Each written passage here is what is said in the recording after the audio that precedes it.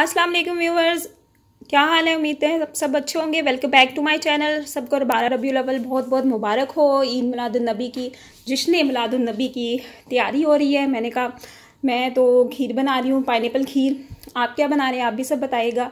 और अगर आपने अभी कुछ नहीं बनाया तो मैं वीडियो बना के अपलोड कर दूँगी तो आप भी यही ज़रूर बनाइएगा अगर आपको अच्छी लगी रेसिपी मेरी तो। अगर आप मेरे चैनल पे हैं तो चैनल चैनल पे नए आए हैं तो चैनल को सब्सक्राइब कर दें। ऊपर आई बटन नज़र आ रहा होगा तो मेरी पुरानी वीडियो की प्ले है तो ज़रूर देखिएगा लाइक शेयर सब्सक्राइब ज़रूर कीजिएगा। तो आज मैं बना रही हूँ पाइनएप्पल खीर। मैं तो ईद मिलादुलनबी पे यही बना के सबको बांटती हूँ, ख़त्म दिलाते इस पर तो मैंने कहा, आपसे भी अपनी रेसिपी शेयर करूँ, अगर आपको पसंद आई हो तो आप भी बनाइएगा। इसमें मैंने एक टिन पाइनएप्पल का लिया है। ये मैंने दो लीटर, ढाई लीटर ऑलपर का दूध लिया है। एक लीटर दूसरा सादा को वाला जो फ्रेश मिल्क होता है वो यूज़ कर लें। और एक आधा पाव मैंने चावल लिए नए चावल इनको भिगो दिया है। आधे चावलों को मैं इसमें ग्राइंड करके डालूँगी, जैसे फिरनी में डालते हैं, और आधे को वैसे डालूँगी। ठीक है, एक पाव मैंने चीनी ली है इसमें और कुछ गार्निशिंग के लिए बादाम सबस इलायची बीच में डालेंगे। इसमें कोकोनट, एक एक प्याली मैंने कोकोनट पाउडर, वो गार्निश ग्रेटेड कोड नहीं होता, वो मैंने लिया है और जर्दा रंग ऊपर से डिज़ाइनिंग करने के लिए, ठीक है। अब बनाते हैं, मैंने एक पैन लिया है। ये जी, ये सोनेक्स की मैंने कढ़ाई ली थी तो मिलादुल नबी पे मैं नए बर्तन इस्तेमाल करती हूँ, सब कुछ नया ही। मुझे बहुत खुशी होती है, मुझे दूसरी ईदों की इतनी खुशी नहीं इसकी इतनी खुशी होती है, मैं बना के ख़त्म शतम दिला के, फिर नए कपड़े पहन के ईद की तरह तैयार हो के मैं ईद पे कभी भी तैयार नहीं हूँ। बचपन में होते थे सब, लेकिन अब बड़े हो गए जब से तो मैं सिर्फ़ ईद मिलादुलनबी पे तैयार हो के तो फिर सारे मोहल्ले में स्ट्रीट में बांट के आती हूँ। और एक कढ़ाई मैंने ये ली थी सोनेक्स की, जो मैंने आपको चाइना मार्केट से बताया था, मैंने शॉपिंग की है। और एक कढ़ाई ये ली थी जिसमें कुकिंग करती हूँ। फिर खीर बना के तो फिर मैं इन ये जो मिट्टी के प्याले हैं आप में कहीं को पता होगा इसमें मैं डाल के तो बांटती हूँ ठूठियाँ भी बनाती हूँ। पिछले साल मैंने ठूठियाँ बनाई थी वो यहाँ से मिली नहीं इस्लामाबाद से। तो पीछे मैं पंजाब जाती हूँ तो वहाँ से ले आती हूँ। तो इस दफ़ा मुझे मंगवानी या, याद ही नहीं रही। तो यहाँ से मुझे ये बड़ी मुश्किल से ये मिले हैं। तो मैंने इनको ला के इनको पानी में भिगो के रख देते हैं इसको धो के अच्छी तरह ताकि इसकी जो सारी मट्टी वगैरह ना वो साफ़ हो जाए और ये इसमें पानी जैसा हो जाए ताकि इसमें खीर जो ख़राब ना हो टेस्ट ख़राब ना हो। इतनी अच्छी इसमें मज़ेदार खीर लगती है और अच्छा मट्टी का टेस्ट खुशबू से और अच्छी मज़े की हो जाती है। चले जी, अब रेसिपी स्टार्ट करते हैं और आपको बताती हूँ। ये जी मैंने सारा दूध इसमें डाल दी है। ये रात का टाइम है तो शेडो आएगा इसमें, मैं कुछ नहीं कर सकती। और अब पहले दूध को बॉयल आएगा, फिर मैं चावल पीसती हूँ। चावल डालेंगे। सबस लाइचिंग को मैं थोड़ा सा इसमें कूट के तो डालती हूँ। इससे फ्लेवर अच्छा आता है, खुशबू अच्छी आती है। ठीक है? ये जी इलायची मैंने कूट के डाल दी है। अब इसको एक बॉयल आने देती तब तक मैं चावल पीसती हूँ, आपको बताती हूँ। ये जी मैंने ब्लेंड कर लिए ये देखिए, ऐसे हो गए चावल। इतने छोटे। इनका ये जी दूध में बॉयल आना शुरू हो गया। अब इसमें डालती हूँ, चावल में साथ साथ चम्मच हिलाऊँगी साथ साथ डालती जाऊँगी। ऐसे डाला तो फिर गुटलियाँ बन जाएँगी, इसलिए आप साथ साथ चम्मच हिलाते जाएँ। ये बॉयल आ गया अब इसमें हम डालते हैं चावल।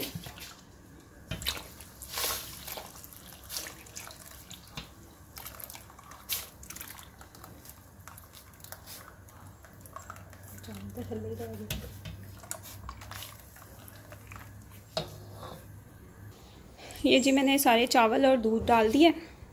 दूध में चावल डाल दिए अब उनको पकने देते हैं जब चावल गल जाएँगे।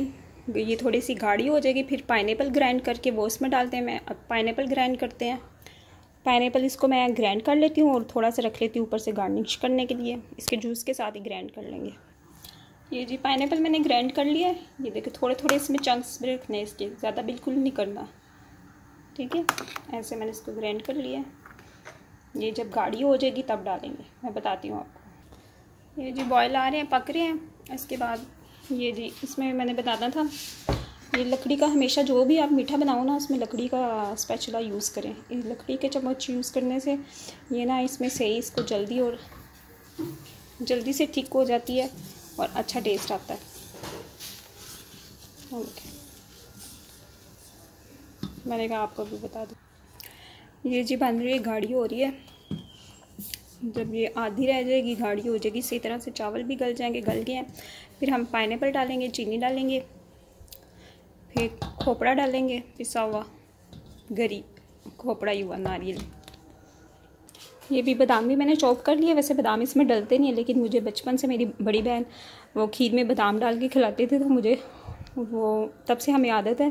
बीच में बादाम ना हो, खीर में तो हमें मज़ा नहीं आता, कोई भी फ्लेवर की हो, लेकिन हम बादाम ज़रूर डालते हैं मेरी आपकी बड़ी बहन बहुत अच्छी खीर बनाती थी, और मैंने बहुत लोगों की खाई है, लेकिन वैसा मुझे टेस्ट आज तक नहीं आया किसी का भी, और मेरे खुद से भी वैसे नहीं बनती, इसलिए मैं अब बनाती नहीं हूँ। मैं अपने तरीके वाली बनाती हूँ। ये देखिए जी, चावल गल गए। अब इसमें चीनी डालते हैं, फिर इसको पाइनएप्पल डालेंगे। मैं आपको चीनी डालती हूँ। चीनी आप अपने टेस्ट के मुताबिक डाल लीजिएगा। पहले मैं थोड़ी डालती हूँ। वैसे मैं एक पाव डालती हूँ उसमें। ढाई लीटर हो या साढ़े तीन लीटर हो तो उसमें एक पाव चीनी। देखते हैं। चीनी डाल के ना इसमें चम्मच हिलाते जाइएगा नहीं तो ये नीचे लगना शुरू हो जाएगी। अब भी इसमें पाइनएप्पल में पल्प डाल देती हूँ जो मैंने बनाया था, साथ में चम्मच हिलाते जाऊँगी। आपको मैं दिखाती हूँ। ये जी पाइनएप्पल मैंने पल्प डाल दिया है, जो मैंने ब्लेंड करके रखा हुआ था अच्छे से, और हल्के हल्के इसके चंक्स भी रखे थे ताकि मुँह में आए तो मज़ा आएगा। अब साथ साथ चम्मच चलाते जाइएगा ये गाढ़ी होती जाएगी, इसका कलर चेंज होगा तो पाइनएप्पल डालने के बाद पंद्रह बीस मिनट ही बनाना है, पकाना है।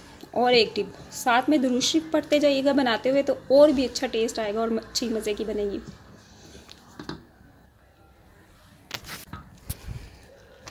मैंने खो, खोपड़ा और पिसा हुआ खोपड़ा और बादाम डाल दिए बीच में। इसको चम्मच को हिलाते जाना है बंद। मैंने डालते हुए दिखाया नहीं क्योंकि एक हाथ में मेरा कैमरा है और एक हाथ में मैं चम्मच हिला रही हूँ। नहीं तो गुटलियाँ बन जाती हैं। आप साथ साथ चम्मच हिलाते जाएगा अब ये छीटे मारनी शुरू होगी इसका मतलब है ये तैयार हो गई है। ये थोड़ी सी और होती है तो मैं इसको निकाल, ठंडा होने की रखती हूँ। फिर इसको हम डिश आउट करते हैं तो मैं आपको दिखाती हूँ। देखें। ये पाइनएप्पल के चंक्स नज़र आ रहे होंगे। मैंने कुछ कुछ रखे थे ताकि मुँह में आए तो बाइट में आए तो मज़ा आए। ये जी तैयार हो गई गाड़ी होनी ये बबल्स पर जब बबल्स बनने शुरू हो जाए ना तो आप समझे आपकी कलर इसका थोड़ा सा कलर भी चेंज हो जाए तो आपकी खीर तैयार है पाइनएप्पल की ईजीएस्ट आसान झटपट। आप भी बनाइएगा और इंस्टा पे भी मुझे टैग कीजिएगा। इंस्टा पे फॉलो भी करें। और रेसिपी बनाई तो टैग कीजिएगा Salma Ashraf zero five eight मेरा कोड है। और नहीं तो कमेंट्स में ज़रूर बताइएगा आपको कैसी लगी है। ये देखिए जी फाइनल लुक ये गाड़ी हो गई है। बबल्स मारने शुरू हो गए अब इसको मैं बंद करती हूँ। अब डिश आउट करते हैं। ठंडी थोड़ी सी ठंडी होगी, फिर करेंगे। ये जी देखिए, मैंने डिश आउट कर दी है। ये ये अब इसके ऊपर मैं ये टीका लगाऊँगी। ये तैयार हो गया देखती हूँ भी हाँ सही है। ये जमना शुरू हो गया है। अब इसके ऊपर ये मैं फ़ूड कलर भिगो के रखा है। इसके टीके लगाऊँगी। अल्लाह जन्नत नसीब करे। बचपन से मुझे आदत मेरी पुप्पो बनाती थी। वो भर भर के देती तो कहती थी, इसमें टीका लगाओ। तो मैं इसमें टीके लगाती थी। मुझे बड़ा मज़ा आता था। और आज फिर मैंने उनकी रवायत कायम रखी है। तो मैंने कहा, ये खीर बांटने पे इसको लगाती हूँ। ऐसे। बिस्मिल्लाह।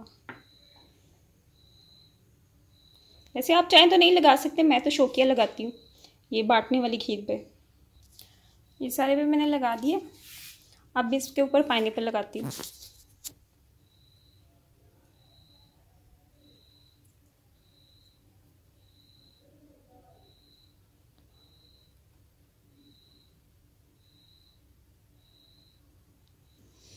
ये जी मैंने पाइनएप्पल भी गार्निश कर दिए।